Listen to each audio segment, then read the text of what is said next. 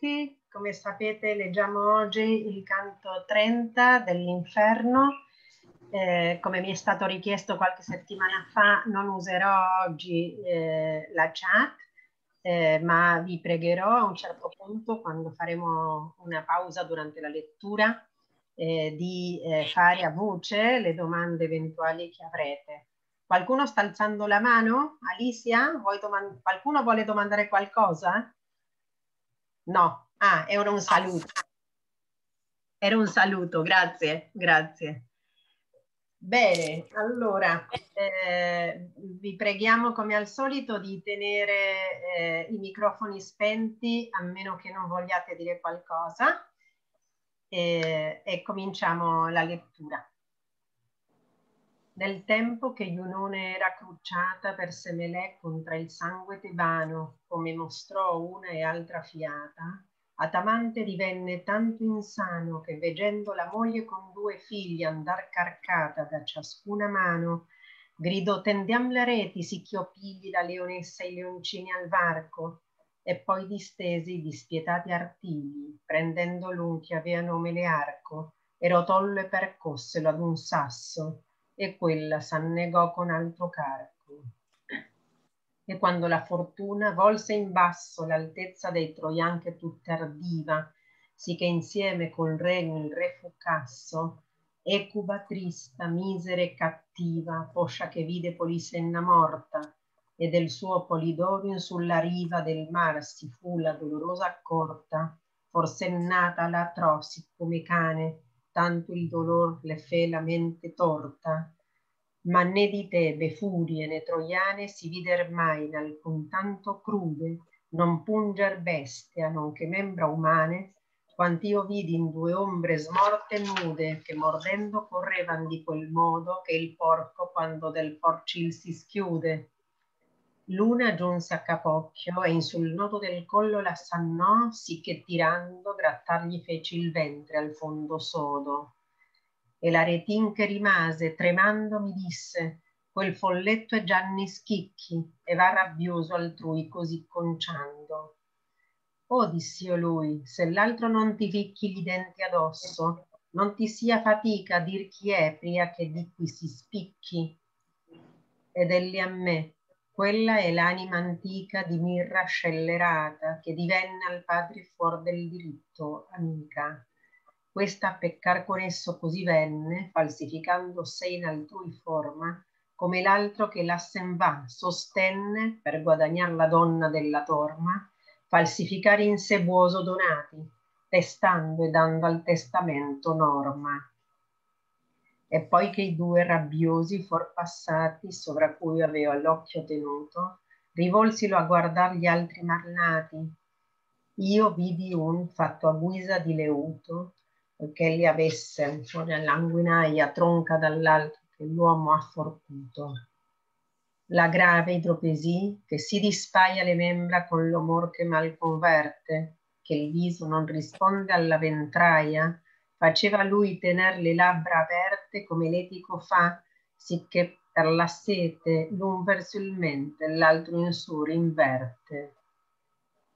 O voi che senza alcuna pena siete, e non so io perché nel mondo gramo di selli a noi, guardate e attendete alla miseria del maestro Adamo.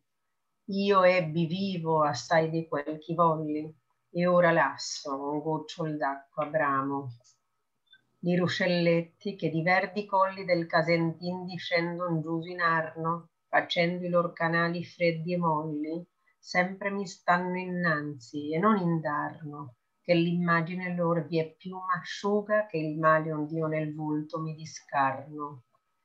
La rigida giustizia che mi fruga, tragge cagion del loco io peccai a metter più li miei sospiri in fuga ivi è Romena, la dov'io falsai la lega suggellata del Batista, per chi il corpo su arso lasciai. Uh.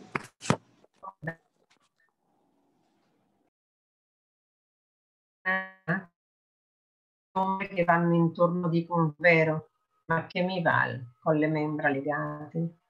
S'io fossi pur di tanto ancor leggero, chi potessi in cent'anni andare un'oncia, io sarei messo già per lo sentiero, cercando lui tra questa gente sconcia, con tutto che la volge undici miglia e mendo un mezzo di traverso non c'è. Io son per lor trasi fatta famiglia, e mi indussero a batterli fiorini che avevan precarati di mondiglia. E io a lui, chi son li due tapini che fumman come van magnate inverno, giacendo stretti ai tuoi destri confini? Qui li trovai e più volte non dienno, rispose, quando piovi in questo greppo, e non credo che diemi in sempiterno. L'una è la falsa che accusò Giuseppo, l'altro il falso sinon greco di Troia, per febbre avuta gittan tanto leppo. E l'un di lor, che si recò a noi a furse d'esser nomato sì oscuro, col pugno gli percosse l'epa croia. Quella sonò come fosse un tamburo, e mastro Adamo gli percosse il volto col braccio suo, che non parve men duro, dicendo a lui, ancor che mi sia tolto lo muover per le membra che son gravi, ho io il braccio a tal mestiere sciolto. Ondei rispose, quando tu andavi al fuoco non l'avevi tu così presto, ma sì e più l'avevi quando coniavi. E l'idropico, tu dil ver di questo, ma tu non fosti sì ver testimonio, l'ave del ver fosti a Troia richiesto. Sì, io dissi falso, tu falsaste il conio, disse Sinon. E son io per un fallo, e tu per più che alcun altro demonio. Ricorditi, speggiuro del cavallo, rispose quel che aveva infiata l'epa, e sieti reo che tutto il mondo sallo. E te sia rete la sete onde ti crepa, disse il greco, la lingua e l'acqua marcia, che il ventre innanzi agli occhi si ti assiepa.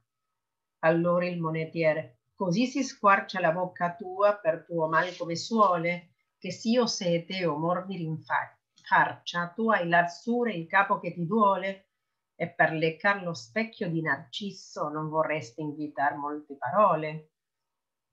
Ad ascoltarli ero io del tutto fisso quando il maestro mi disse or pur mira che per poco che teco non mi risso. Quando io sentì a me parlar con ira, volsimi verso lui con tal vergogna che ancor per la memoria mi si gira qual è colui che suo dannagio sogna, che sognando desidera sognare, sì che quel che come non fosse agonia, tal mi feci io non possendo parlare, che disiava scusarmi e scusava me tuttavia e non mi credea fare.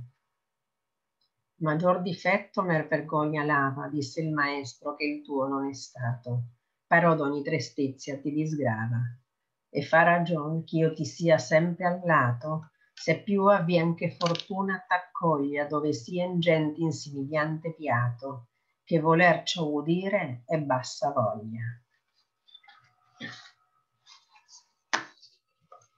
Dunque, questo trentesimo canto è l'ultimo dei canti dedicati all'ottavo cerchio a Malebolge, e infatti eh, è stato notato da più studiosi che eh, è il più variegato in uh, temi e stili di tutti i canti eh, dedicati a questo ottavo cerchio, probabilmente tirando un po' le somme eh, di tutti gli stili che Dante ha provato nell'inferno.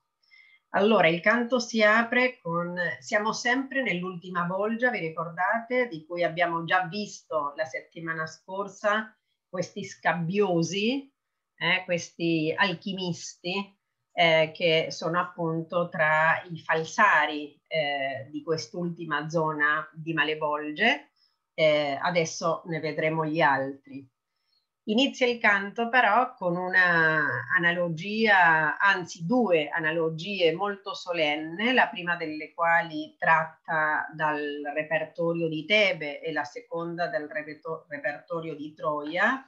Entrambe hanno come fonte le solite metamorfosi di Ovidio, ma è la sola volta in tutto il poema in cui la materia di Tebe e di Troia vengono accomunate dal poeta e quindi inizia ricordando il mito di Ino e Atamante Leggiamo e poi spieghiamo.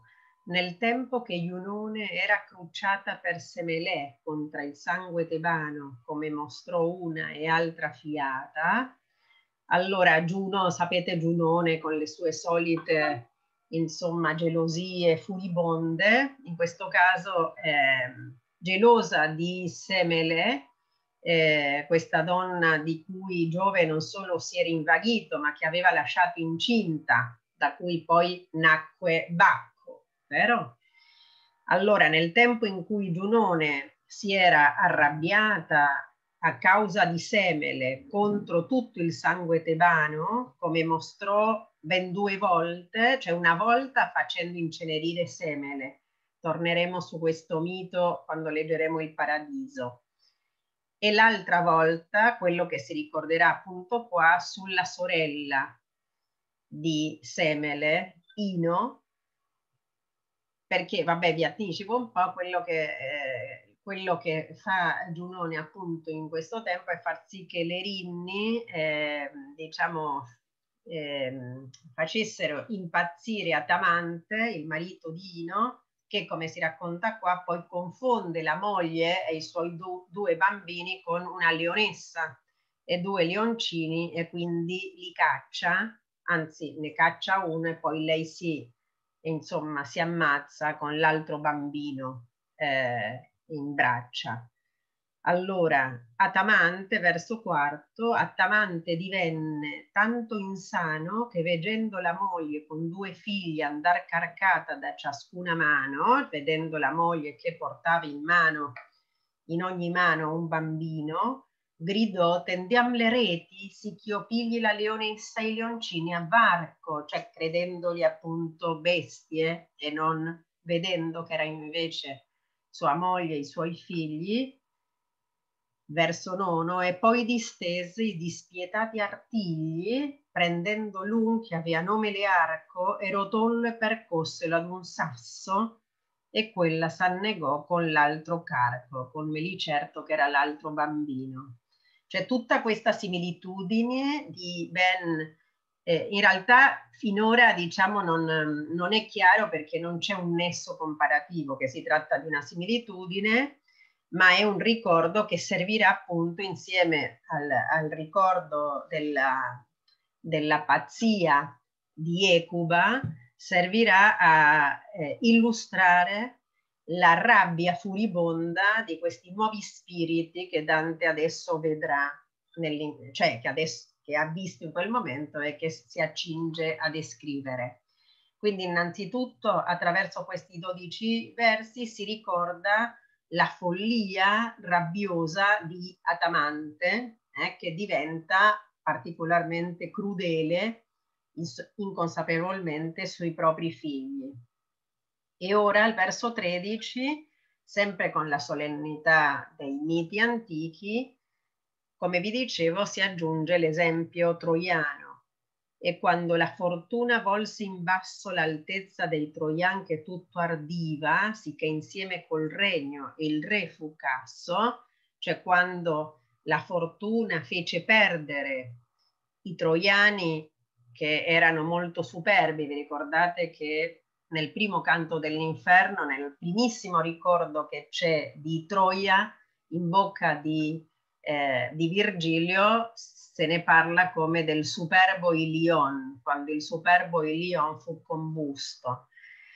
Allora, quando la fortuna volle che i troiani che ardivano tutto eh, cadessero, si volse in basso così tanto che insieme con il regno, con Troia stessa, cadesse il re Priamo, Ecuba trista, misera e cattiva, poscia che vide Polisenna morta e del suo Polidoro sulla riva del mar si fu la dolorosa accorta, forsennata la trossi come cane, tanto il dolor le fe la mente torta.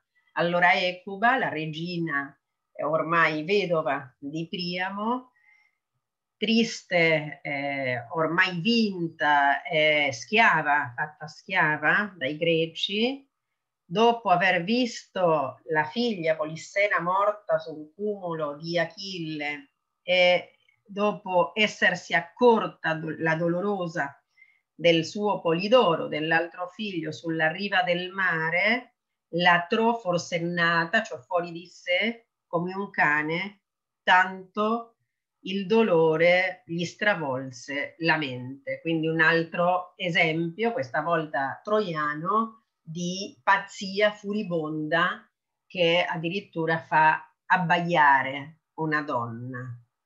E dopo questi 21 versi di digressione in qualche modo dalla narrazione vera e propria, riprende con eh, la solita dichiarazione di mancanza di questi esempi per rendere la terribilità dell'inferno al verso 22 Dante per descrivere eh, la bestialità di questo nuovo gruppo di anime che vide nella, nona, eh, nella decima bolgia. Ma né di Tebe furie né troiane si vider mai in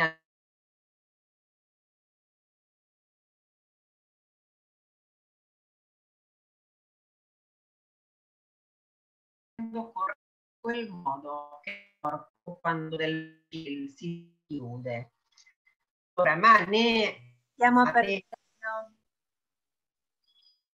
Non si Claudia, sente? Claudia, scusa, non si sente.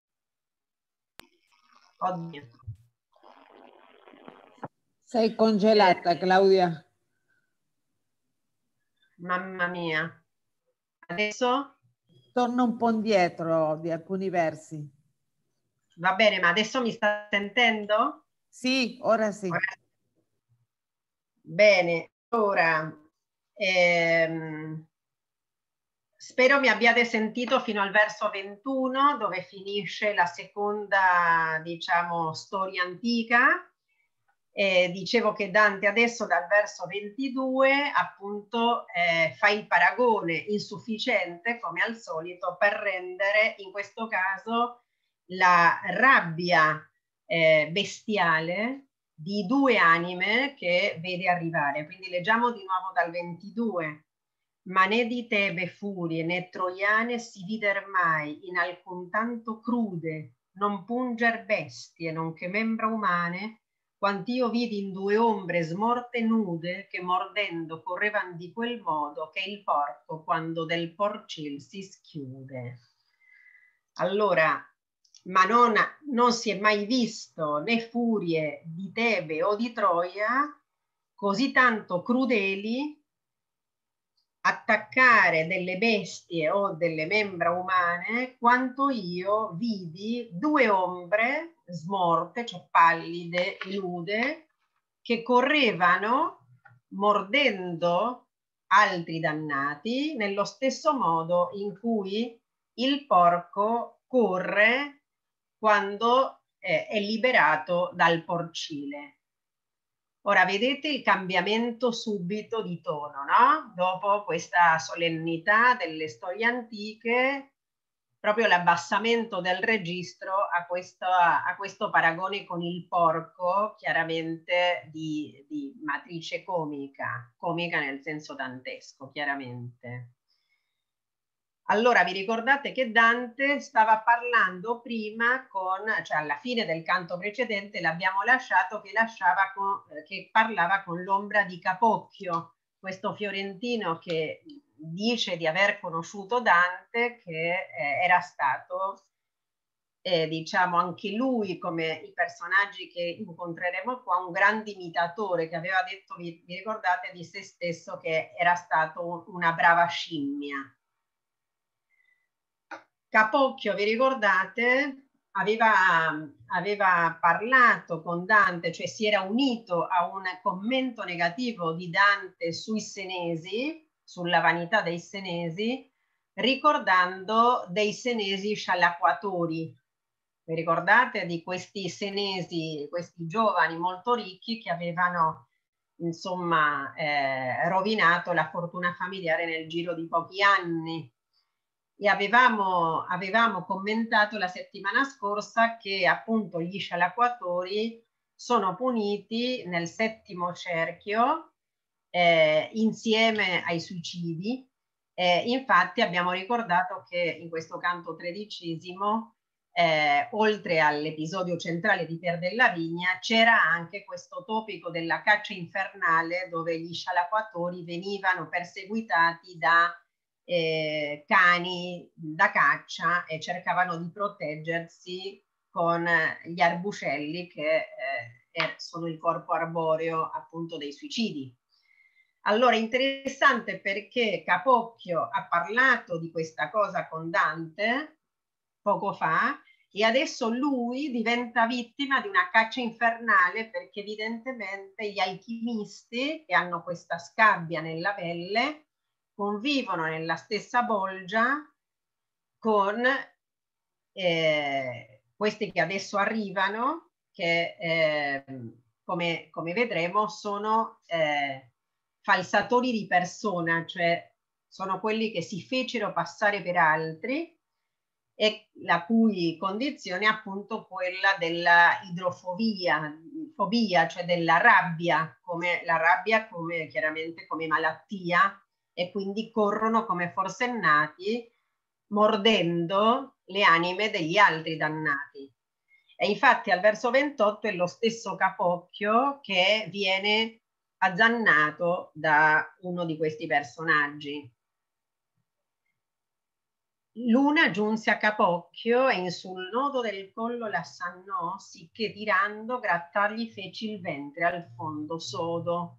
C'è una di queste due anime che vengono di corsa rabbiose, raggiunse Capocchio, l'alchimista, e la zannò nel nodo del collo, nella nuca, in modo che tirandolo lo strofinava, cioè gli faceva strofinare il ventre contro il suolo. Eh, vedete come è diventato veramente comico e anzi sprezzante, no? Questo di grattargli feci il ventre al fondo sodo è anche sarcastico. E l'Aretin, verso 31, e l'Aretin che rimase, tremando mi disse, quel folletto è Gianni Schicchi e va rabbioso altrui, così conciando. Grifolino d'Arezzo, vi ricordate quello che aveva raccontato di essere stato bruciato perché non aveva insegnato Albero da Siena come si volava, che era l'altro dei due con cui Dante aveva parlato prima, che rimase lì tremando perché chiaramente ha scampato un pericolo anche lui mi disse quel folletto, folletto è uno, una sorta di spirito demoniaco volante, no? Che qui è usato in un modo metaforico, e Gianni Schicchi e va conciando così gli altri per la sua idrofobia, per la sua rabbia. Allora, questo Gianni Schicchi, come si vedrà dopo, è stato eh, protagonista di appunto una, una, un cambiamento di persona, cioè era amico di un...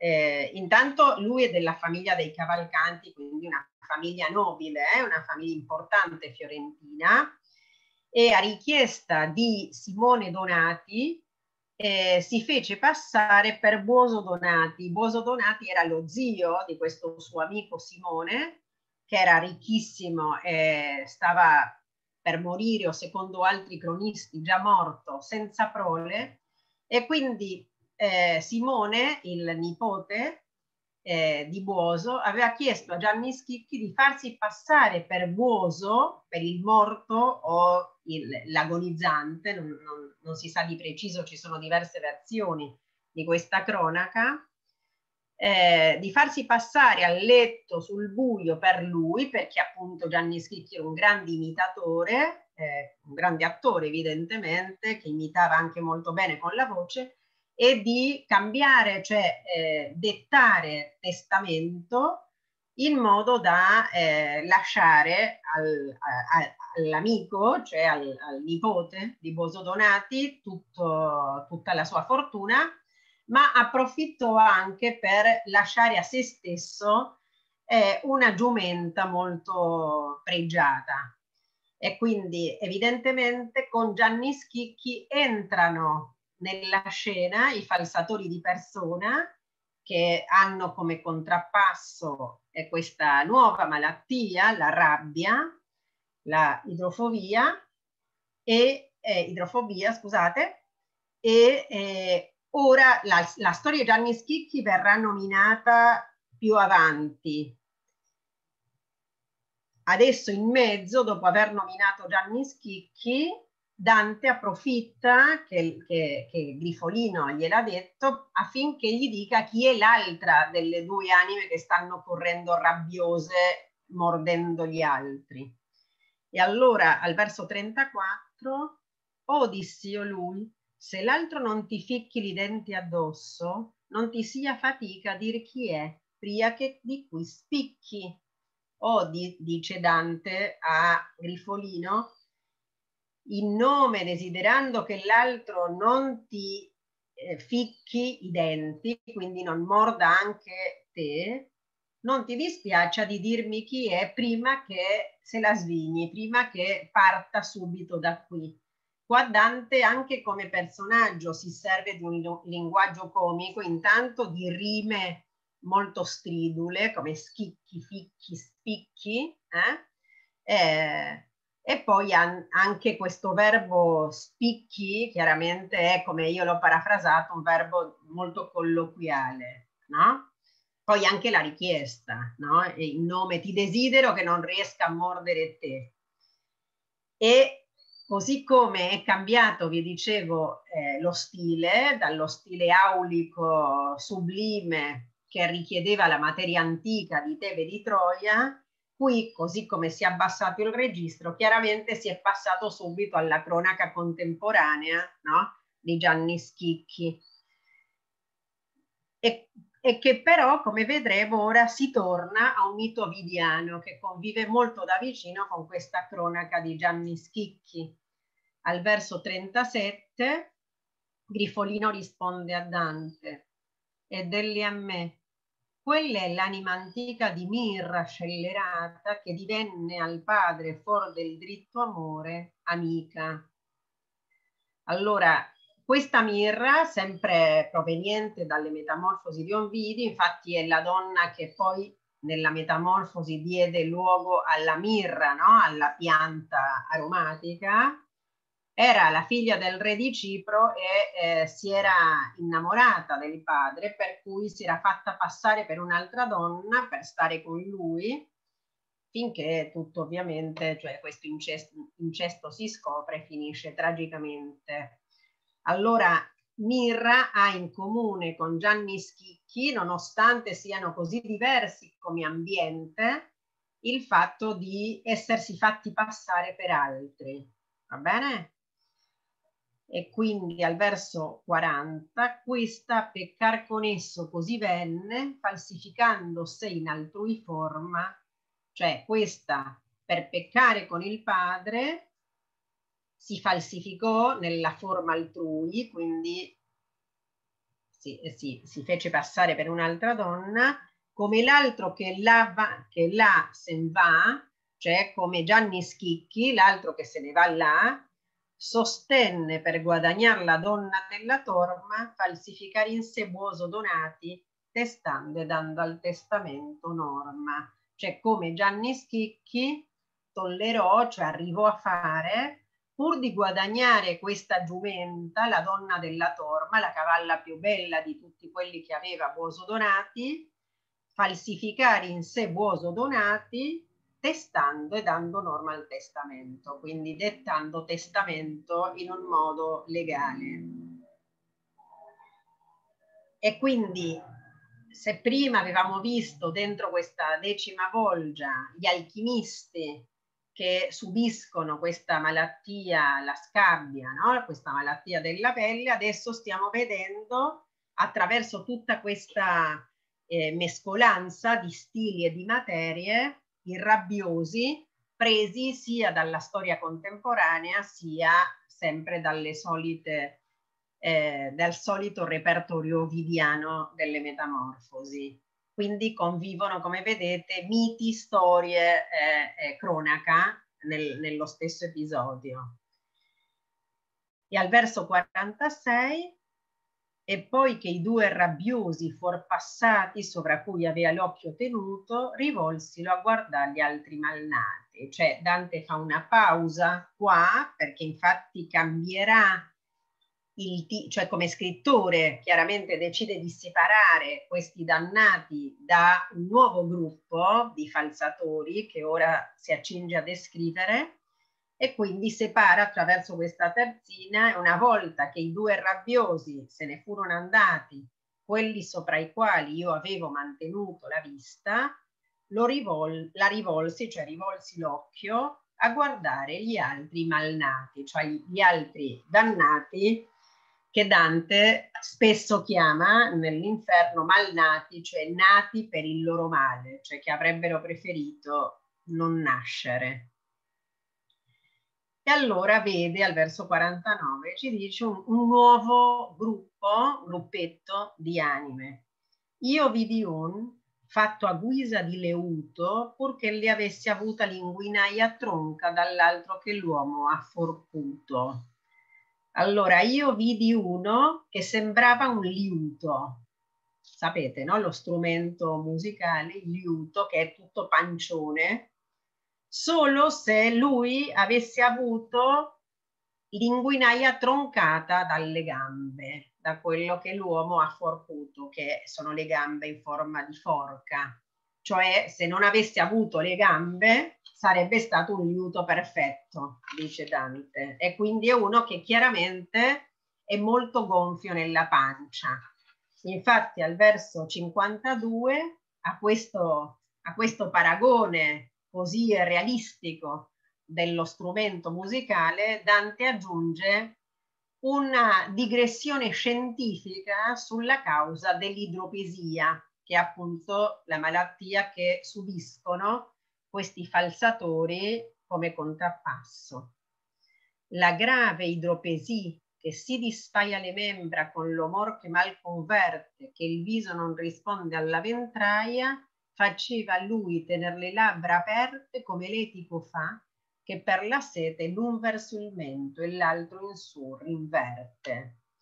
Allora, l'idropesia grave, qui è importante la parola grave, no? Perché come voi sapete, grave ancora oggi, no? Quando parliamo del centro di gravità, eh, coincide grave con pesante, eh? ma nell'italiano antico ancora di più. Eh, infatti il peso appunto di, di, questi dannati contrasterà poi con una cosa che Virgilio dice a Dante. Allora la grave idropesia che così disfaia le membra, cioè che rende le membra del corpo spaiate, cioè non adeguate le une alle altre, con l'umor che mal converte, cioè convertendo male gli umori, cioè il liquido, questa appunto era la spiegazione scientifica dell'idropisia che Dante leggeva non solo in Avicenna ma anche in alcuni trattati contemporanei di medicina, uno dei quali, quello che si chiamava De Proprietaribus Rerum di Bartolomeo Angelico, scusate, eh, chiamava, scusate sto leggendo la citazione perché è interessante forse come legame con il contrappasso, chiamava gli idropici eh, rabbiosus e eh, distingueva eh, dentro l'idropisia la timpanite che eh, faceva sì che il ventre fosse così tondo che suonasse come un tamburo che effettivamente è una delle cose che Dante qui, come vedremo tra qualche verso, attribuirà a Mastro Adamo, che è il personaggio che ora diventerà protagonista. Allora Dante, in questo canto dove mescola tutto, adesso eh, mette appunto queste, eh, diciamo, queste parole che riguardano la scienza, la medicina dell'epoca, dicendo che eh, l'idropesia dipende del, dalla non avvenuta conversione dell'umore in modo che il viso non risponde alla ventraia, cioè che il viso diventa molto piccolo, molto secco, asciutto, mentre il ventre diventa enorme. Quest'idropesia verso 55 faceva lui tenere le labbra aperte come fa il tisico che per la sete una delle labbra va verso il mento e l'altra verso l'alto, quindi aveva la bocca aperta, insomma, in continuazione. E al verso 58 allora eh, questo personaggio si rivolge a Dante e Virgilio che li vede chiaramente senza malattie, quindi capisce che insomma non fanno parte dei soliti dannati della bolgia. O voi che senza alcuna pena siete e non so io perché nel mondo gramo, disse egli a noi, guardate e attendete alla miseria del maestro Adamo. Io ebbi vivo assai di quei chi volli e ora lasso un gocciol d'acqua a bramo. Ora si presenta questo personaggio che è davvero notevole perché anche lui, come il Dante scrittore di questo canto, va cambiando proprio tono e atteggiamento psichico lungo il suo discorso. Intanto vedete come si presenta, o voi che siete senza alcuna pena, quindi che non avete alcuna malattia evidente, e io non so perché nell'inferno, nel mondo gramo, si rivolge, ma evidentemente non gli importa molto perché. Non è che come altri personaggi domanda ma che fai qui, come mai, chi siete, no? Dice io vi vedo e comincio a lamentarmi subito, approfitto che qualcuno mi ascolta e la prima cosa che fa appunto in preda all'autocommiserazione è con il tono del lamento di Geremia, comincia, guardate e attendete alla miseria del maestro Adamo.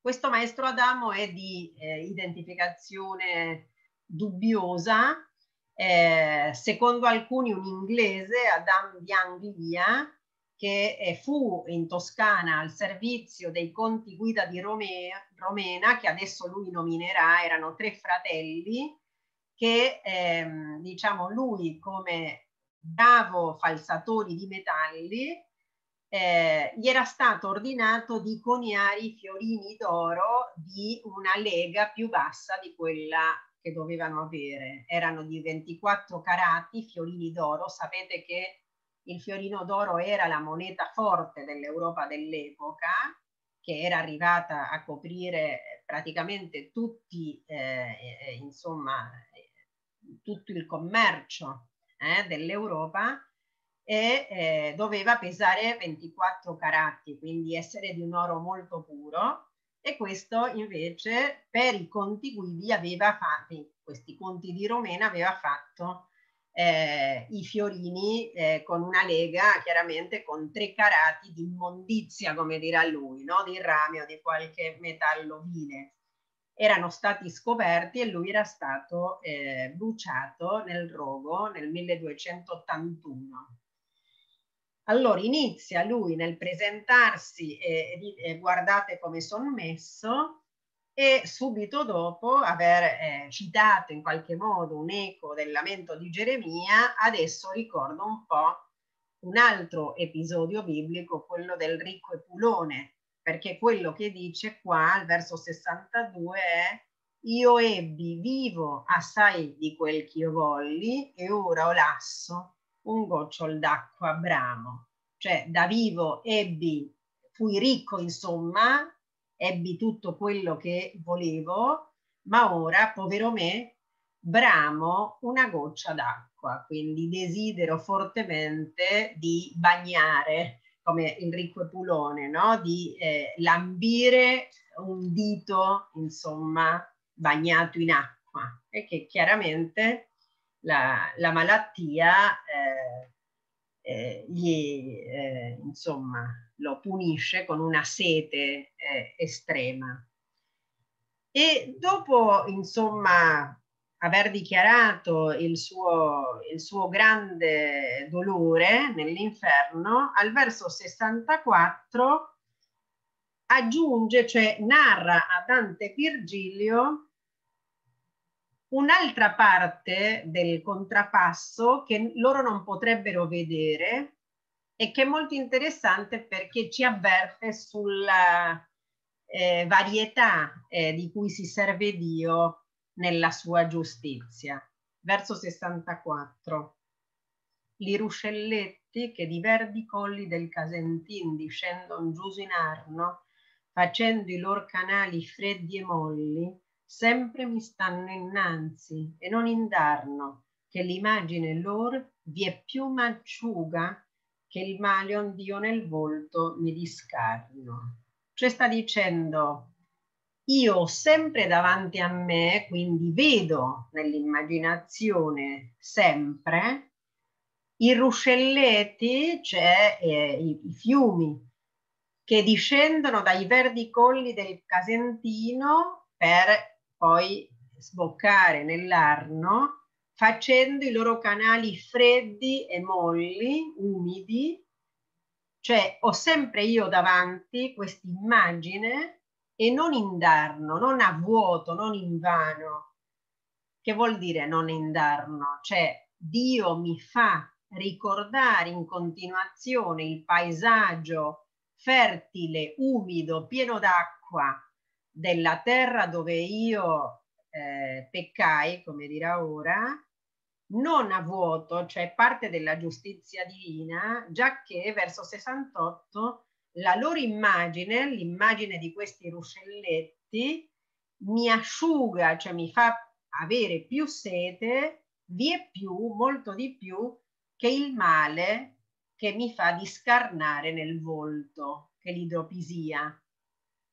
È interessante perché evidentemente alla malattia che lo induce ad avere sete si aggiunge il ricordo costante del paesaggio pieno di acqua di cui lui avrebbe potuto godere e nel quale invece di godersi peccò in modo da poi adesso bramare anche una goccia d'acqua. E infatti al verso 70 aggiunge la rigida giustizia che mi fruga tragica giun del loco v'io peccai a mettere più i miei sospiri in fuga. Cioè la giustizia rigorosa di Dio che mi assilla prende causa, occasione dal luogo dove io peccai, che è il luogo che io ricordo in continuazione, per mettere più in fuga i miei sospiri, quindi per farmi soffrire ancora di più. E appunto, dopo aver descritto quest'altra pena che eh, gli fa soffrire ancora più, dice, della malattia che sta, cioè lui, ricordiamo, è questo liuto, no? Che ha la faccia tutta dimagrita, la bocca sempre aperta, una sete tremenda e la pancia come un liuto. E sta dicendo ma il peggio della mia pena voi non lo potete vedere, è il mio ricordo costante delle acque che c'erano nel posto dove io peccai. E al verso 73 Ivi è Romena, la dov'io falsai la lega suggellata del Battista, per chi il corpo su arso lasciai. Cioè lì, appunto, tra i ruscelletti che scendono da, dal Casentino nell'Arno e il castello di Romena, appunto il castello dove c'erano questi tre fratelli, dove io falsai la moneta del Battista, cioè il, ehm, il, il, San Giovanni Battista era il padrono di Firenze e quindi c'era il suo ritratto sul fiorino d'oro. Per cui io lasciai il mio co corpo arso lassù, no? Perché come abbiamo detto lui è stato scoperto e bruciato.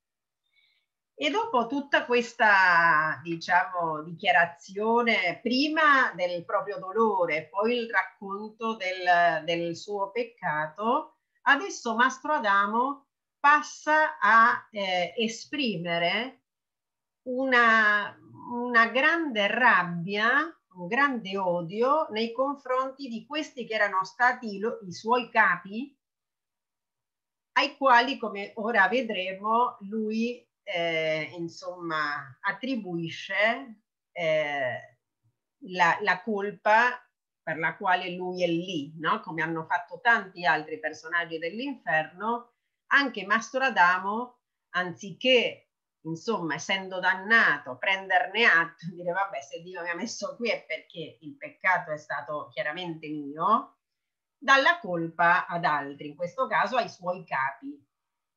E, ed è talmente arrabbiato con loro che guardate come continua il suo discorso al verso 76. Ma se io vedessi qui l'anima trista di Guido, d'Alessandro o di lor frate, per fonte branda non darei la vista.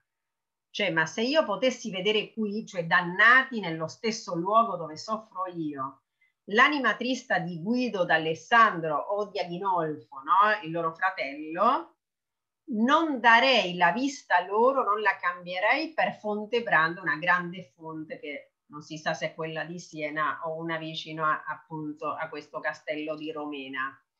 Cioè lui ha appena detto che la sete la, è quello che più soffre della punizione, ma ora veniamo a capire attraverso quest'ultima terzina che in realtà rinuncerebbe a bere pur di vedere dannati questi conti che l'hanno indotto a peccare e quindi alla dannazione. E, e, questo è interessante perché siccome lui prima ha detto non indarno, cioè la giustizia divina mette davanti alla mia vista il paesaggio dove io vissi pieno di acqua, perché questo appunto mi stimola alla sofferenza, è probabile che lui non se ne accorga, ma che anche quest'odio che porta verso i conti sia parte della sua punizione, cioè il malessere che deriva dall'odio che ha verso i suoi vicini è qualcosa che è peggio ancora della sete. Se lui pur di vederli darebbe anche fonte branda, vero? Però non può vederli. Al verso 79 appunto chiarisce, dentro c'è luna già, se l'arrabbiate ombre che vanno intorno dicono vero, ma che mi val che ho le membra legate? Allora, una di queste ombre, queste anime, di questi tre fratelli, c'è già qua, è probabilmente Guido, eh, di cui sappiamo che era morto mh, mm, prima del 1300, dice se le ombre arrabbiate, cioè rabbiosi, che vanno intorno dicono la verità.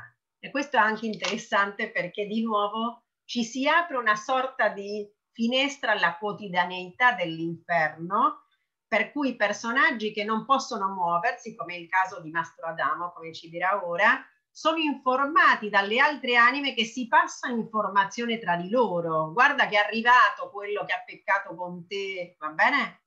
Ma certo, non bisogna fidarsi troppo.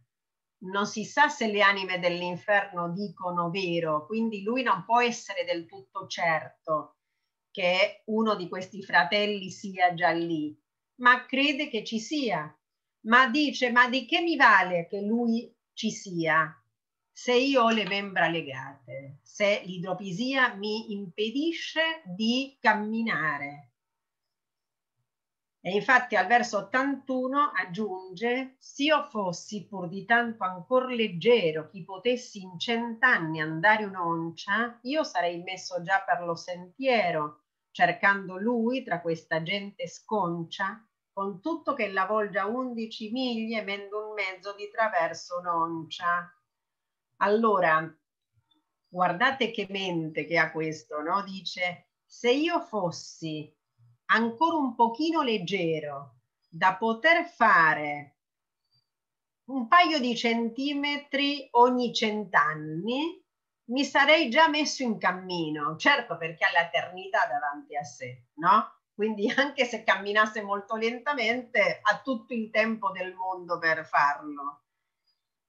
Mi, mi sarei già messo giù, dice nel sentiero, verso 85, cercando lui tra questa gente tutta malmessa, nonostante questa bolgia volge 11 miglia. Vi ricordate che nel canto precedente Virgilio per mettere fretta a Dante che era rimasto fissato a guardare se un suo parente c'era nella bolgia dei seminatori di Scisma, per mettere fretta, Virgilio aveva detto a Dante, guarda che questa bolgia misura 22 miglia, eh, abbiamo poco tempo ancora, no?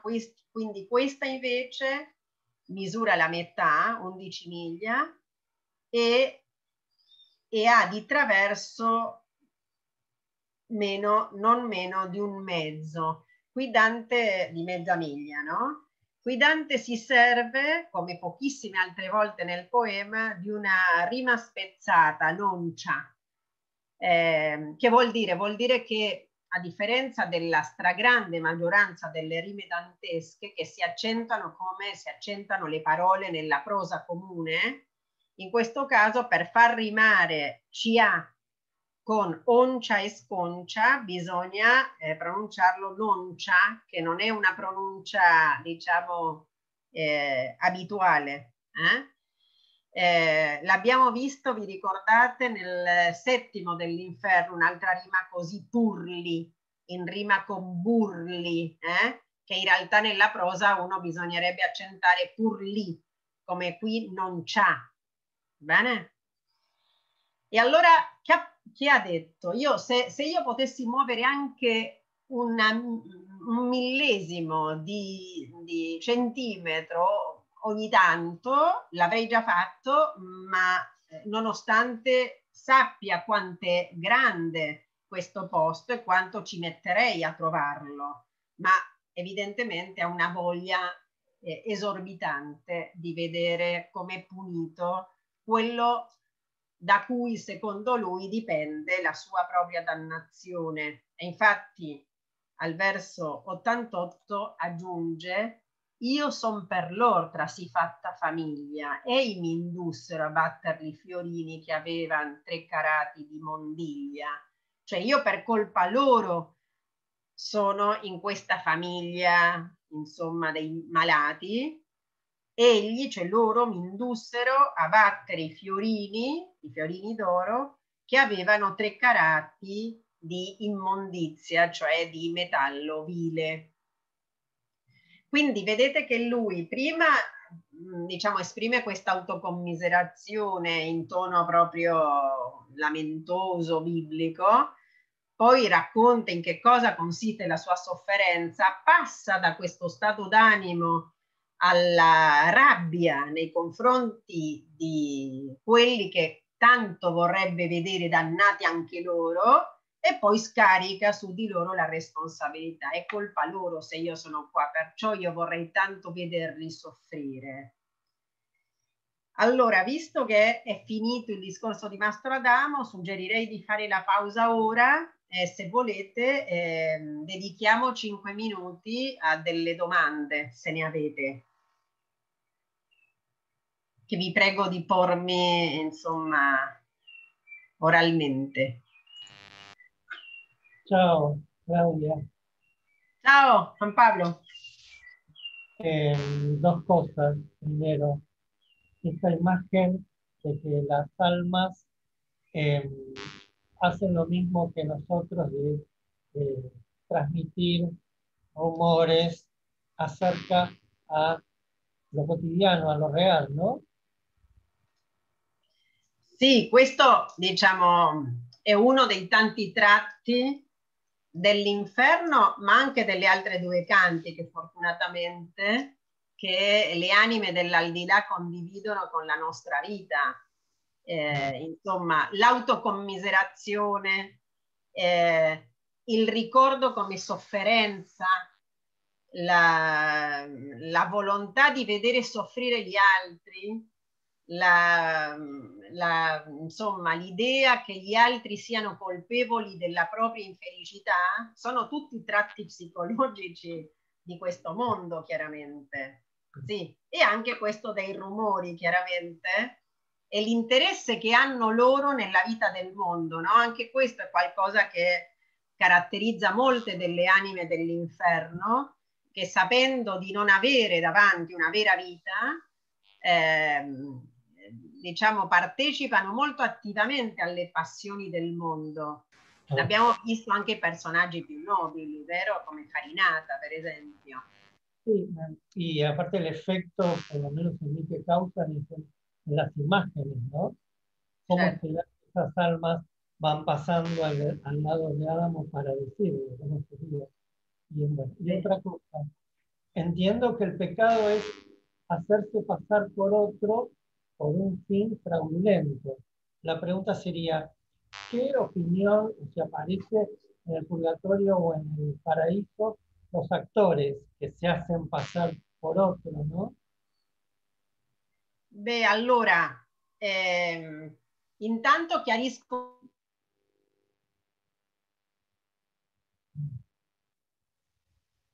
Se quedó il Mastro Adamo, no? Lui è falsatore di metalli. Claudia, quedaste congelada otra vez, ¿eh? Ora mi sentite? Sì? Mannaggia, scusate, io non so, evidentemente il mio collegamento è debole e siccome la maggior parte di voi non ha la telecamera,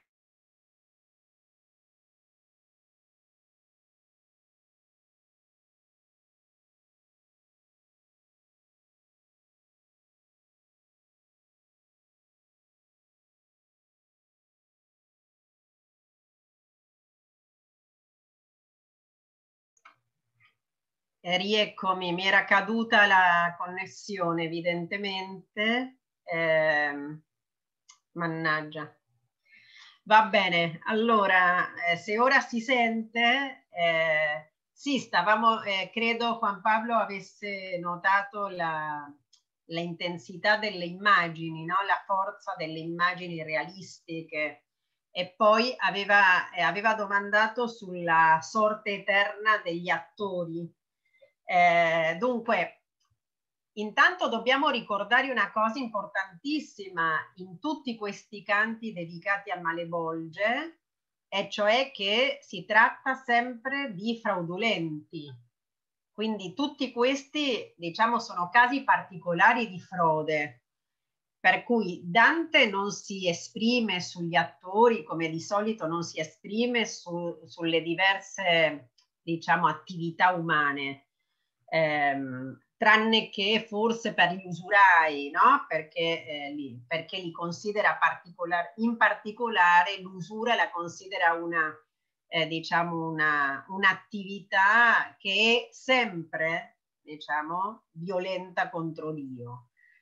Ehm, ma secondo me, diciamo, oserei dire, anche se Dante non ne parla, che Dante non vede alcun, alcun diciamo, niente di riprovevole nella recita a teatro, eh, anche se, come sapete, nel Medioevo non era un'attività, insomma, abituale, ma mh, perché semplicemente a teatro la gente ci va consapevole che gli attori faranno un personaggio, quindi non c'è frode, non c'è frode lì.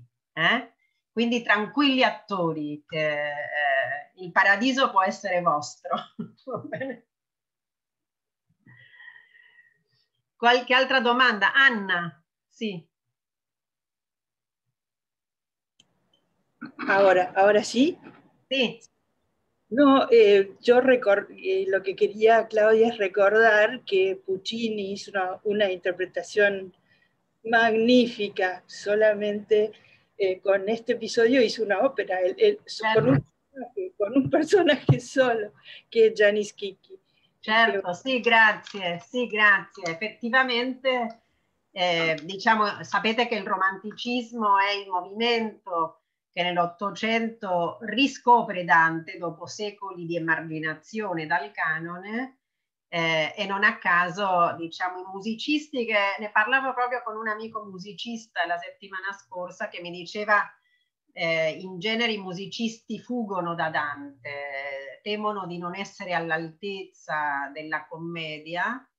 Eh, e beh certo, ma nell'Ottocento appunto ci sono diverse, diverse, diversi componimenti, tra cui Gianni Schicchi, che si basa proprio su un brevissimo episodio ed effettivamente c'è l'opera come c'è anche insomma anche Francesca da Rimini come personaggio è stata protagonista di opere del romanticismo.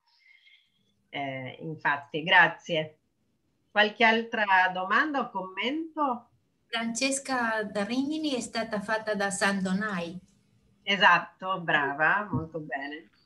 Sì. Dico, dicono che anche la trilogia del, del, del Gianni Stichi e Tavarro e Sant'Angelica era, era tutta dedicata alle, a, alla, a, a, Dante, ossia a, a Dante, ossia alla, alla, commedia, no? la trilogia, non solo Gianni Stichi, se non le tre, le tre opere che, ah. che, sì, che Puccini fa insieme, no? Ah, non lo sapevo questo, grazie. Sì, sì, lo dicono, non, non, so se è vero, no? lo dicono i commentatori, non lo so se è vero, ah, però che, trilog- che, addirittura la trilog- trilogia era dedicata a, a, alle tre parti del, del, della commedia. Ah, ottimo, grazie. grazie. Una è Suora Angelica e il Tabarro. Suora Angelica. Il Tabarro e, e, Ange- e Suora Angelica. Certo. tutte e tre. Uh-huh. Non sapevo che le altre due fossero legate anch'esse alla dicono, commedia. Dicono, lo dicono, non so se è vero. Ottimo, grazie. Altri dubbi o commenti?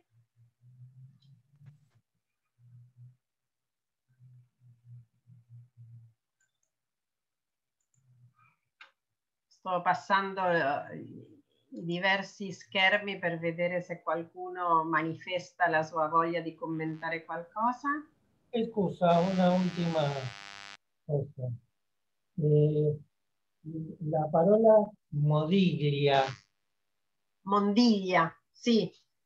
Mondiglia, Mondiglia vuol dire immondizia, ehm, ehm, diciamo basura sarebbe. Mm. Una pregunta. Sí, Mónica. Sí, Mónica. Eh, me da curiosidad el tema de las tantas referencias a la antigüedad, a la mitología. Eh, em, cuando, pensaba en los, en los, lectores. Por ahí para nosotros hacen falta muchas explicaciones para poder entender eh, todas estas referencias. en el lector en el que Dante estaría pensando las necesitaba también, eran más conocidas, estaba pensando en un eh, lector muy culto. Come, come è ese assunto? Beh, quello è un argomento veramente molto difficile, molto controverso. Eh, proprio stamattina ne parlavo con, con il mio maestro eh, a proposito di una cosa che lui sta scrivendo. Eh, diciamo, eh, Dante eh, chiaramente si rivolge a un pubblico molto vasto che include chiaramente un pubblico colto senz'altro che riesca a cogliere tutti i riferimenti, come stai dicendo Monica, insomma alle metamorfosi di Ovidio, all'Eneide, alla Farsalia di Lucano, ma anche vedremo nel paradiso argomenti filosofici e teologici molto complessi che chiaramente non erano padroneggiati da molta gente. Poi però la, il miracolo di quest'opera è che nonostante tutti questi riferimenti oscuri o medianamente oscuri per molti lettori dell'epoca e anche attuali, è un libro che avvince eh, nonostante questo, proprio per la trama, proprio come libro di avventure, eh, attraverso un coinvolgimento diretto anche di un pubblico popolare. Quindi eh, a quale pubblico pensava Dante è molto difficile da sapere, anche perché, come abbiamo detto più volte, avremo modo di dirlo più chiaramente quando leggeremo il Paradiso, Dante non si sente l'autore della commedia, bensì uno scriba dei, quindi lui è certo di star portando a termine una missione divina e quindi chiaramente intende arrivare ad ogni lettore dell'umanità, perché il suo scopo, come abbiamo detto tante volte, non è quello di intrattenere, o di commuovere solo esteticamente, bensì di cambiare la nostra vita, di purificare l'umanità attraverso la sua opera.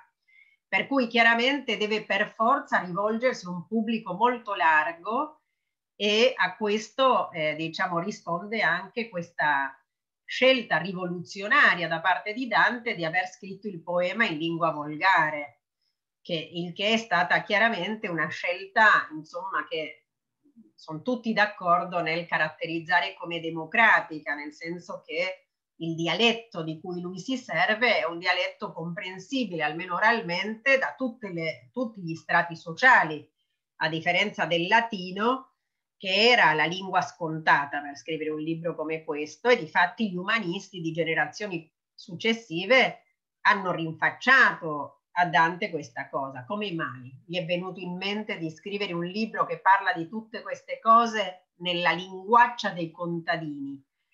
E quindi Dante chiaramente vuole far arrivare il messaggio a tutti eh, e infatti questo è coerente con quello che dichiara all'inizio del convivio, e non solo all'inizio, ehm, sulla divulgazione del sapere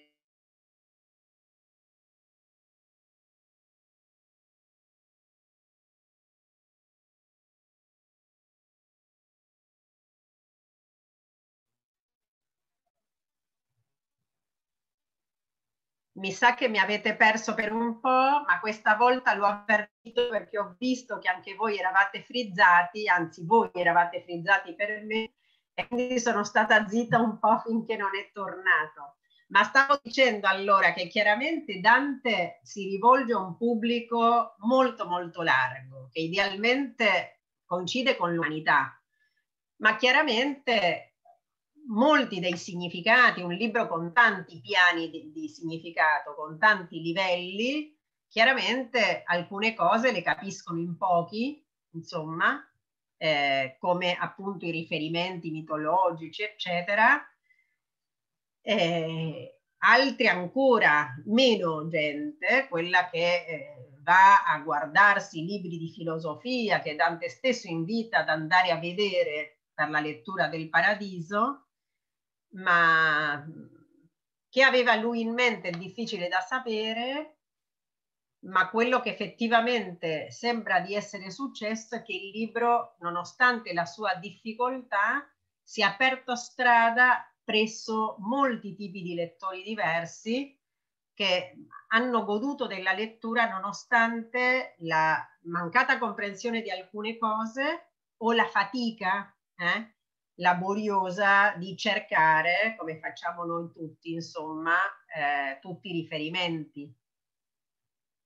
Non so se la mia risposta è stata soddisfacente. Ma sì, muchas, muchas gracias, muchas gracias. Sì. Prego. Qualche altro dubbio o commento, ragazzi?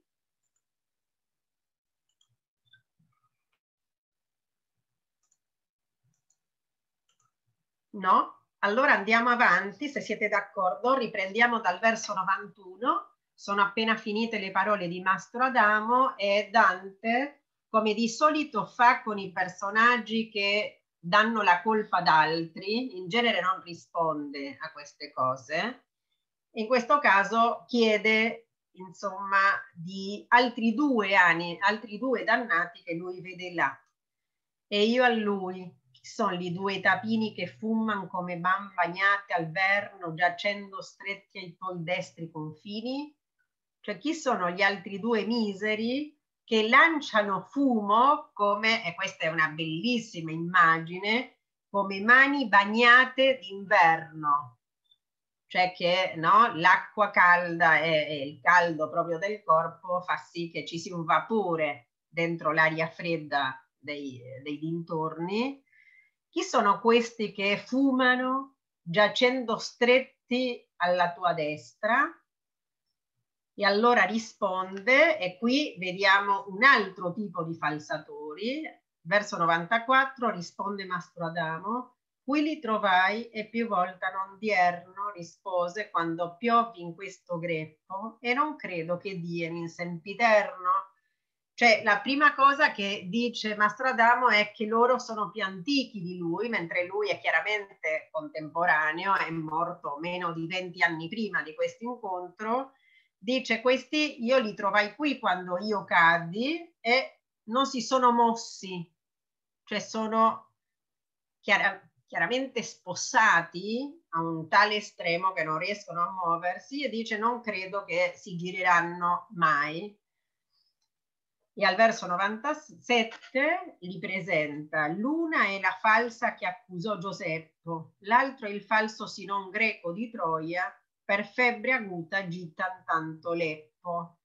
Cioè l'una è la falsa che accusò Giuseppe. Per, di, nuovo, di nuovo c'è un accostamento tra culture diverse, no? Perché sono insieme, chiaramente con molta febbre, con febbre molto alta, i falsatori di parola o bugiardi. Una è la moglie di Putifar che aveva accusato ingiustamente Giuseppe dopo aver tentato invano di sedurlo, eh, che è chiaramente parte della Bibbia, no? del libro della Genesi, e l'altro è Sinone, questo personaggio che Dante legge nell'Eneide, eh, che qui Sinon greco di Troia è chiaramente ironico perché accolto insomma come cittadino di Troia eh, ma che aveva ingannato appunto i troiani no? facendosi eh, catturare da loro e dicendo che lo perseguitavano i greci eh, è stato appunto quello che convinse i troiani a far entrare il cavallo di Troia quindi di nuovo insomma la storia di Troia e la storia biblica messa, messi insieme attraverso due personaggi che fumano insieme la loro febbre. E qui inizia, come se non bastasse in, questo, in questo caso canto così variegato, una scena eh, comica il cui genere potrebbe eh, avvicinarsi a quello dell'attenzione. Credo qualche volta abbiamo, beh non lo so, non mi ricordo se quest'anno abbiamo parlato dell'attenzione che è questo genere eh, di, di origine provenzale attraverso il quale due o più poeti si lanciano delle sfide poetiche e si rispondono a vicenda Dante era stato protagonista di una canzone con un suo amico Forese Donati, molto di stile molto comico, realistico, in cui, in cui entrambi si accusano a vicenda di cose orrende. Torneremo a parlare di questo quando leggeremo il Purgatorio, ma ve lo anticipo molto brevemente perché molti critici di questo canto ritengono che la scena che stiamo per leggere sia da collegare con un atteggiamento poetico di Dante che poi alla fine del canto, non so se avete sentito, viene rimproverato da Virgilio. Allora, siccome Mastro Adamo, l'idro, eh, eh, insomma, questo eh, idrocefalico, no? questo tamburo, ha appena, tra virgolette, denunciato eh, la moglie di Putifar è Sinone, Sinone si arrabbia e comincia una lite al verso 100. E l'un di loro che si recò a noi a forse d'esser nomato sì oscuro, col pugno li percosse l'epacroia. Allora, uno di loro che forse no, gli dispiacque, forse dispiacque di essere nominato in un modo così negativo, gli colpì col pugno la pancia dura, l'epacroia. Anche qua chiaramente il suono non disdice al, eh, insomma, al, al comico. Quella suonò come fosse un tamburo, cioè la pancia, e Mastro Adamo gli percosse il volto col braccio suo, che non parve men duro, dicendo a lui. Quindi Mastro Adamo dopo essere stato colpito da Sinone greco, colpisce l'altro eh, nel volto con il braccio duramente dicendo, e al verso 106 inizia questo scambio di battute aggressive nelle quali ognuno prende in giro e denigra l'altro. Allora, al verso 106, ancor che mi sia tolto lo muover per le membra che sono gravi, ho io il braccio a tal mestiere sciolto. Cioè, eh, Mastro Adamo che aveva appena detto a Dante che lui non poteva muoversi per la bolgia e andare in cerca di, di, di questi conti, dice anche se il muovere eh, il muovermi del tutto, no? Eh, mi sia vietato per le membra troppo pesanti, il braccio per picchiarti ce l'ho sciolto. E l'altro risponde al verso 109, ondei rispose, quando tu andavi al fuoco non l'avevi tu così presto, ma sì e più l'avevi quando coniavi. Cioè l'altro lo prende in giro riprendendo questo del braccio sciolto e gli dice, eh ma quando sei stato bruciato vivi non avevi il braccio così sciolto, e eh, chiaramente era stato legato, no? Ma l'avevi molto sciolto quando coniavi moneta falsa e quindi rimpro- questo è anche della vita, no? Quello che diciamo in spagnolo è, è, è, com'è? Quello è il muerto se ríe del degollado, perché sono tutti e due insomma dei falsatori, tutti e due dannati per sempre, ma si rinfacciano a vicenda il peccato dell'altro, vero? E allora al verso 112 eh, si difende, tra virgolette, Mastro Adamo, e l'idropico, tu diver di questo, ma tu non fosti si ver testimonio, l'ave del ver, fosti a Troia richiesto, dici il vero su questo, cioè che io coniavo, ma non sei stato un testimone così verace quando a Troia ti si richiese di dire la verità circa il cavallo, appunto. Ah, adesso dici la verità, ma prima non la dicevi, dice Mastro Adamo a Sinone. E al verso 115, sì, io dissi falso e tu falsasti il conio, disse Sinone, e sono qui per un fallo e tu per più che alcun altro demonio. Cioè se io ho detto il falso, L'ho detto una volta, sta dicendo Silone. Tu invece hai falsato il conio di tante monete che sei stato bugiardo, diciamo falsario, in, molto, in molta più quantità di altri demoni. E allora eh, cambia discorso, Mastro Adamo al verso 118, ricorditi spergiuro del cavallo, rispose quel che aveva infiata l'epa, e sieti reo che tutto il mondo sallo. E ricordati tu del, dello spergiuro del cavallo, rispose Mastro Adamo, no? quello che aveva gonfiata la pancia, e che ti faccia male il fatto che tutto il mondo lo sa, cioè quello del cavallo di Troia è famoso, a differenza dei miei misfatti.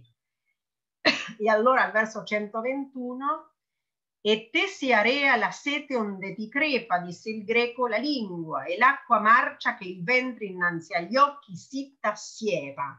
Allora, e che a te faccia male la sepa che ti fa crepare la lingua, che te la, te la fa, insomma, rompere, e l'acqua marcia, l'acqua putrida, che ti, e questa è un'immagine tremenda, che il ventre ti assiepa davanti agli occhi, cioè che ti gonfia così tanto il ventre che fa da siepe davanti agli occhi, quindi ti impedisce di vedere. Allora al verso 124, allora il monetier, così si squarcia la bocca tua per tuo mal come suole, che se io ho sete o mor mi rinfarcia, tu hai l'arsura il capo che ti duole e per leccar lo specchio di Narcisso non vorresti a invitar molte parole. Allora, Mastro Adamo risponde a Sinone, la tua bocca si squarcia per il tuo male come di solito succede, già che se io ho sete e l'umore, cioè il liquido, mi, rinfar mi rinfarcia, cioè mi farcisce, mi riempie, tu hai l'arsura della febbre e un mal di testa tale che per leccare l'acqua di una fonte, lo specchio di Narciso, non ti faresti pregare molto, cioè lo faresti volentieri. Basta. al verso 130 Dante smette di eh, riportare come scrittore queste parole perché, come adesso ci racconta, Virgilio non gli permette di sentire più. Ad ascoltarli eri io del tutto fisso quando il maestro mi disse or pur mira, che per poco che teco non mi risso. Cioè Dante dice, io ero del tutto fisso, assorto, ascoltando questa lite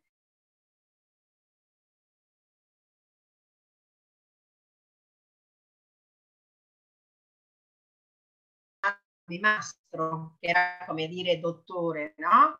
Il maestro, il vero maestro, Virgilio mi disse, continua pure a guardare, sto per arrabbiare con te. Claudia, e allora il povero da... Sì? Scusa, eh, scusa eh, non ti abbiamo sentito l'ultima parte. Scusa. Oddio. Ehm, allora, il rimprovero di Virgilio? Sì, allora ripeto, cerco di ripetere. Dante era del tutto assorto ad ascoltare questa lite quando Virgilio rimprovera a Dante, gli dice continua pure a guardare che io mi arrabbio con te, gli dice sarcasticamente. E quindi al verso 133 il povero Dante reagisce a queste parole dure del maestro. Quando io sentì a me parlar con ira, volsimi verso lui con tal vergogna che ancor per la memoria mi si gira. Cioè Dante quando sente che Virgilio si è arrabbiato con lui, si rivolge al maestro con una tale vergogna, dice che ancora anni dopo, mentre sta scrivendo la commedia, la vergogna gli torna alla memoria, ricordando come capita a volte, no? quando, soprattutto quando uno si è comportato male, che per anni poi arrossisce quando ricorda quella scena. Ma è importante questa, diciamo, questa considerazione di Dante perché, come vedremo, Virgilio gli chiede di considerare che lui lo accompagna anche quando non ci sarà più. E quindi evidentemente il fatto che Dante continui a provare vergogna una volta tornato al mondo, anni dopo, quando sta scrivendo il libro, vuol dire che continua ad avere la voce di Virgilio dentro la propria coscienza. E infatti qua, al verso 136, con una figura abbastanza complessa, Dante ci rende il suo stato d'animo di allora, cioè quando Virgilio l'ha rimproverato, lui evidentemente non riesce a parlare, ma dalla faccia che fa, dal, dal suo gesto, dal suo rossore, il maestro capisce che Dante si è sentito molto male, no? si è mortificato e quindi leggiamo dal verso 136 qual è colui che suo dannaggio sogna, che sognando desidera sognare, sicché quel che come non fosse agonia, cioè quando, come colui che ha un incubo, cioè sogna la propria dannazione, sogna insomma un suo male molto grave e che mentre sogna desidera di star sognando, diceva oh, magari questo fosse un sogno, in modo che quello che è come se non fosse desidera, cioè desidera di essere nella condizione nella quale è veramente ma non lo sa. Si capisce questa cosa? Sì? Cioè come quando si sogna qualcosa di molto brutto e uno dice oh magari questo fosse un sogno ed è un sogno, solo che quando uno sta sognando non sa che è un sogno, cioè in modo che uno desidera qualcosa che già è ma non sa che è, così verso 139 tal mi feci io non possendo parlare che disiava scusarmi e scusava me tuttavia e non mi credeva di fare.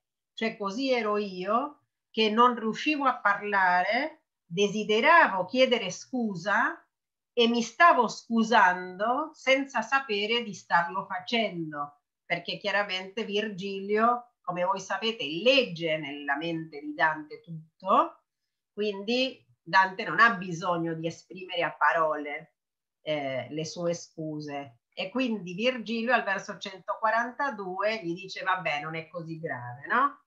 Maggior difetto men vergogna lava, disse il maestro, che il tuo non è stato. Cioè, meno vergogna riesci a lavare un difetto maggiore rispetto a quello che è stato il tuo. Quindi stai tranquillo. Però d'ogni trestizia ti disgrava, perciò liberati da ogni tristezza. Ma qui vedete che Virgilio usa il verbo disgravarsi, che è appunto, dal, diciamo etimologicamente, la negazione del grave che pesa in Mastro Adamo, vero? Quindi levati questa gravezza, tu non sei colpevole. E poi aggiunge al verso 145 e fa ragione che io ti sia sempre al lato, se più avvien che fortuna t'accoglia dove sia in gente insimigliante piato che voler ciò udire è bassa voglia.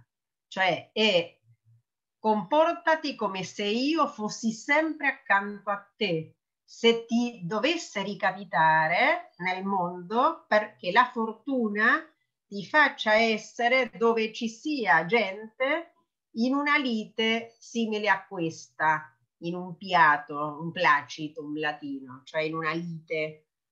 Cioè, se ti capiterà quando tornerai al mondo di vedere un conflitto come quello che hai appena visto tra Mastro Adamo e Sinone Greco, comportati come se io fossi accanto a te, quindi non rimanere a guardare, che voler udire una cosa del genere è una voglia bassa.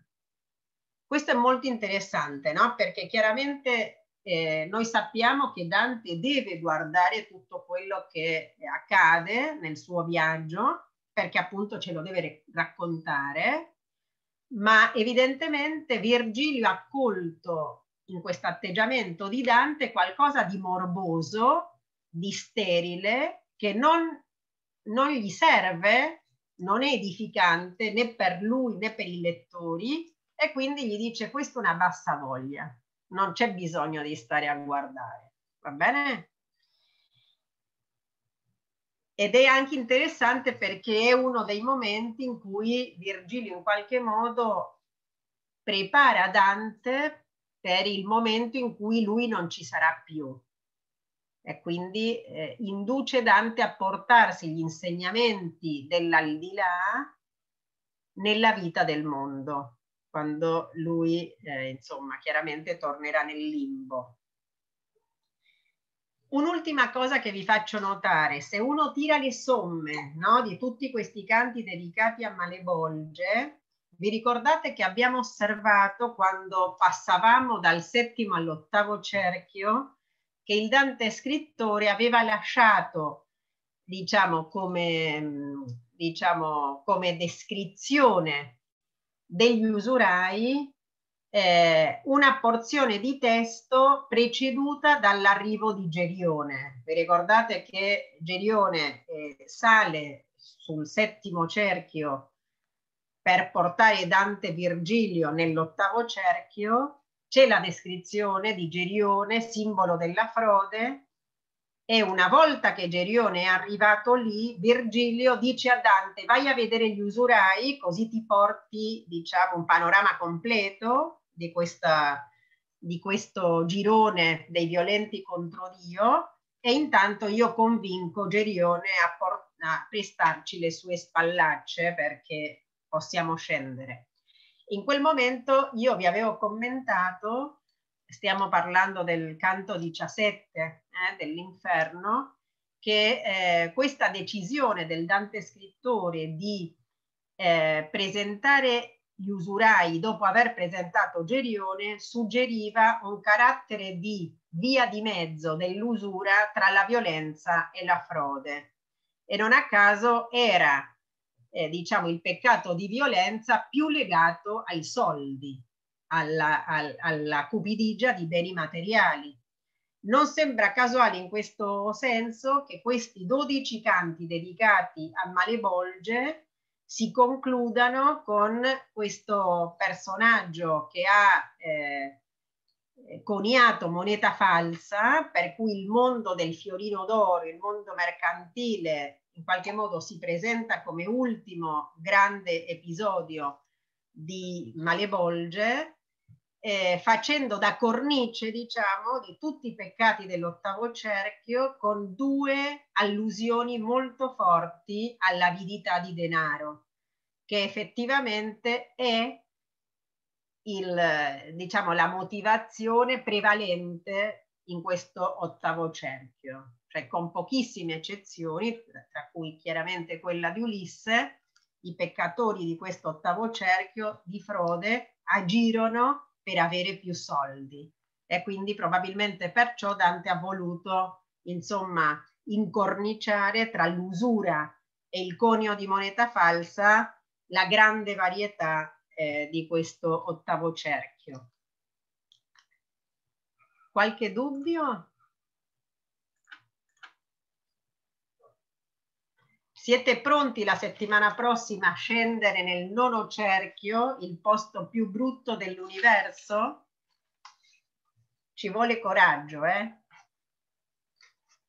Infatti questi ultimi canti dell'inferno, a mio avviso, sono insopportabili. Insopportabili voglio dire eh, deliberatamente fatti insopportabili da Dante, che ci induce a voler uscire a rivedere le stelle veramente. C'è un momento in cui uno non ce la fa più di questi mascalzoni del fondo dell'inferno, vero? Beh, non so se capita a voi, io non vedo l'ora di andare in purgatorio, ma ci mancano ancora quattro settimane di letture infernali.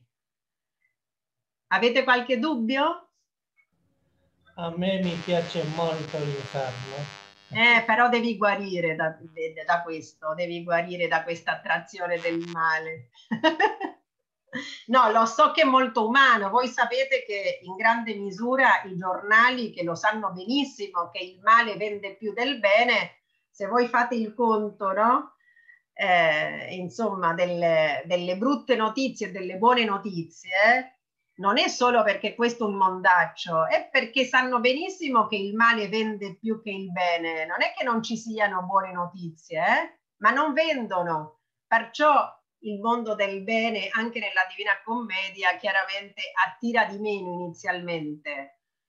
Ma insomma, eh, quello che ci attende è molto più bello, eh? come, come letteratura voglio dire, come letteratura. Il, eh, Dante si supera in ogni libro.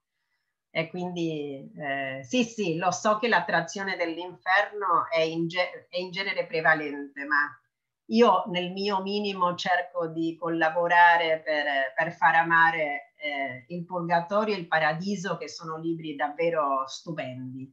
Il paradiso è difficile chiaramente il più difficile dei tre libri ma è di una bellezza veramente che fa venire, fa venire i brividi. Eh? Bene, rileggiamo il canto allora? Eh, scusa, sì. Eh, coincido con palabra porque uno de los libros El Paraíso que por lo menos acá está agotado. Siempre que sale una edición se agota las traducciones del Paraíso. In realtà credo che tu stia parlando in particolare della, della traduzione di Battistessa, no? Sì. Sì, ma certo, ma io vi spiego perché è capitato questo. Questo non è perché il paradiso è, è stato molto più comprato, eh? non illudetevi. Questo è perché, siccome era quello che si vendeva di meno, la Dante Alighieri di Buenos Aires, che è quella che ha pubblicato questa versione che tu hai appena fatto vedere, quella degli anni Ottanta, ehm, alla fine dei corsi a coloro che avevano una buona media regalava i libri che in qualche modo avanzavano in libreria. E quindi molti studenti hanno ricevuto solo il paradiso, per cui poi è capitato una sorta di contrappasso per cui il paradiso non si trova più in libreria perché è stato molto regalato, non molto venduto. Eh? Del resto leggersi il paradiso senza aver letto le altre due cantiche è veramente assurdo, eh? per cui bisogna leggerlo tutto. Ma adesso speriamo che, insomma, ora, ora ci sono disponibili altre traduzioni di tutte e tre le cantiche e comunque non so perché parliamo di traduzioni se voi potete leggerlo in italiano, quindi non ce n'è bisogno, va bene? Eh? Eh, Claudia, che, che, che, ne pensi del Sapegno? Eh, il Sapegno è, un, è, è un'edizione, cioè Sapegno in sé è uno studioso ottimo, molto importante, il suo commento degli anni 50 ebbe innumerevoli riedizioni, continua a usarsi, io lo trovo molto molto valido, molto valido. Io ce l'ho quello, eh, io ce, li ho tutti e tre del sì, È un'ottima edizione. Bisogna leggere, leggere, leggere, leggere, no? Eh sì. leggere tanto. Leggere tanto. Sì, se uno vuole, eh, nessuno vi costringe a leggere. Però sì, se uno vuole capire almeno medianamente Dante, eh, sì, deve leggere molto, senz'altro. Ma è bello leggere, rileggere, continuare a imparare. Perché questo che domandava prima qualcuno di voi sul pubblico a cui Dante si rivolgeva, cioè Dante ha questa cosa, a mio avviso, di unico. Non credo che ci sia un libro che in questo senso risponde a così tanti pubblici diversi e ha così tante letture. Cioè è un, è ogni cosa che uno vuole studiare su Dante, l'uso di una singola parola, un personaggio, un aspetto, regge ad ogni livello d'analisi. Cioè, uno, a meno che io studio Dante da molti anni, ogni volta che ho affrontato un problema o uno pseudo problema o qualcosa, insomma, che, che attirava la mia attenzione, più leggevo Dante, più leggevo le note, più leggevo le fonti, più mi si arricchiva il testo. Cioè, a differenza di altri autori che dopo che uno li ha letti, non lo so, 20-30 volte dice vabbè grazie, l'ho già capito, nel caso di Dante diventa sempre più profondo e più significativo. È davvero un libro infinito, è, è veramente incredibile questo. È incredibile è difficile poi accontentarsi di altri libri, onestamente, dopo aver visitato questa meraviglia unica. Eh? Qualche altro commento o dubbio? No? Rileggiamo allora questo canto così variegato. Nel tempo che Iunone era crucciata per Semelè contra il sangue tebano, come mostrò una e altra fiata, Atamante divenne tanto insano che veggendo la moglie con due figli andar carca da ciascuna mano, gridò tendiam le reti, sicchio pigli la leonessa e i leoncini al varco, e poi distesi dispietati appigli, prendendo l'un che avea nome Learco, e rotollo e percosselo ad un sasso, e quella s'annegò con l'altro carco. E quando la fortuna volse in basso l'altezza dei troian che tutto ardiva, sì che insieme col regno il re fu casso, ecuba, trista, misera e cattiva, poscia che vide Polissenna morta, e del suo Polidoro in sulla riva del mar si fu la dolorosa accorta, forsennata la trosi come cane, tanto il dolor le fe la mente torta. Ma né di Tebe furie né troiane si vider mai in alcun tanto crude, non punger bestie, nonché membra umane, quant'io vidi in due ombre smorte e nude che mordendo correvan di quel modo che il porco quando del porcil si schiude. L'una giunse a capocchio e in sul nodo del collo la sannò, sicché tirando grattargli fece il ventre al fondo sodo e l'aretin che rimase tremando mi disse quel folletto è già nei schicchi e va rabbioso altrui così conciando dissi io lui se l'altro non ti ficchi i denti addosso non ti sia fatica a dir chi è pria che di cui si spicchi. Ed elle a me quella è la nave antica di mirra scellerata che divenne al padre for del dritto amore amica. Questa peccar con esso così venne, falsificando sé in altrui forma, come l'altro che la sen va sostenne per guadagnar la donna della torma, falsificare in sebuoso donati, testando e dando al testamento norma. E poi che i due rabbiosi fuor passati, sovra cui avea l'occhio tenuto, rivolsilo a guardar gli altri malnati. Io vidi un fatto a guisa di leuto, porché li avesse avuta l'anguinaia tronfa dall'altro che l'uomo ha forcuto. La grave idropesì che si disfaia le membra con l'omor che mal converte, che il viso non risponde alla ventraia, faceva lui tener le labbra aperte come l'etico fa, che per la sete l'un verso il mento e l'altro in su rinverte. O voi che senza alcuna pena siete, e non so io perché nel mondo gramo, diss'egli a noi, guardate e attendete alla miseria del maestro Adamo. Io ebbi vivo assai di quel chi volli, e ora lasso un gocciol d'acqua bravo. I ruscelletti che di verdi colli del Casentin discendon giù in Arno, facendo i loro canali freddi e molli, sempre mi stanno innanzi e non indarno, che l'immagine loro vie più mi asciuga che il male ond'io nel volto mi discarno. La rigida giustizia che mi fruga, trage cagion dell'oco, v'io peccai, a metter più li miei sospiri in fuga.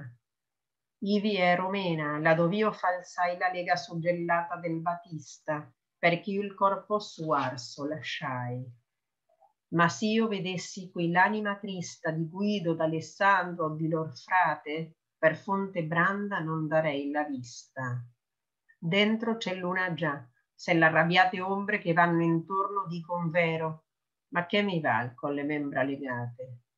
S'io fossi pur di tanto ancor leggero, chi potessi in cent'anni andare un'oncia, io sarei messo giù per lo sentiero, cercando lui tra questa gente sconcia, che tutto che la volge undici miglia e mendo un mezzo di traverso non c'ha.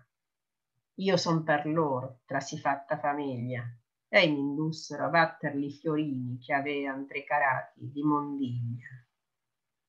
E io a lui, chi son li due tapini che fuman come ban magnate al verno giacendo stretti ai tuoi destri confini? Qui li trovai e più volta non dierno, rispose, quando piovvi in questo gretto, e non credo che diano in sempiterno. L'una è la falsa che accusò Giuseppe, l'altra è falso sinon greco di Troia, per febbre aguta gittan tanto letto. E l'un di loro, che si recò a noia forse d'esser nomato sì oscuro, col pugno gli percosse l'epa croia. Quella sonò come fosse un tamburo, e mastro Adamo gli percosse il volto col braccio suo che non parve men duro, dicendo a lui ancor che mi sia tolto lo muover per le membra che son gravi o io il braccio a tal mestiere sciolto. Ond'ei rispose, quando tu andavi al fuoco non l'avei tu così presto, ma sì e più l'avei quando coniavi. E l'idropico, tu diverdi questo, ma tu non fosti sì ver testimonio, l'ave del ver fosti a Troia richiesto. Sì, io dissi falso e tu falsasti il conio, disse Sinon, e son qui per un fallo, e tu per più che alcun altro demonio. Ricorditi, spergiuro del cavallo, rispose quel che avea infiata l'epa, e siete reo che tutto il mondo sallo. E te si area la sete onde ti crepa, disse il greco, la lingua e l'acqua marcia che il ventre innanzi agli occhi si tassieva. Allora il monetier, Così si squarcia la bocca tua per tuo mal come suole, che sì o sete o mormi rinfarcia, tu hai l'arsura il capo che ti duole, e per leccar lo specchio di Narcisso non vorreste invitar molte parole. Ad ascoltarli ero io del tutto fisso quando il maestro mi disse, or pur mira che per poco che tego non mi risso. Quando il sentì a me parlar con ira, volsimi verso lui con tal vergogna che ancor per la memoria mi si gira. Qual è colui che suo dannagio sogna, che sognando desidera sognare, sì che quel che come non fosse agogna, tal mi feci io non possendo parlare, che disiava scusarmi e scusava me tuttavia non mi credea fare. maggior difetto men vergogna lava, disse il maestro, che il tuo non è stato, però d'ogni trespizia ti disgrava.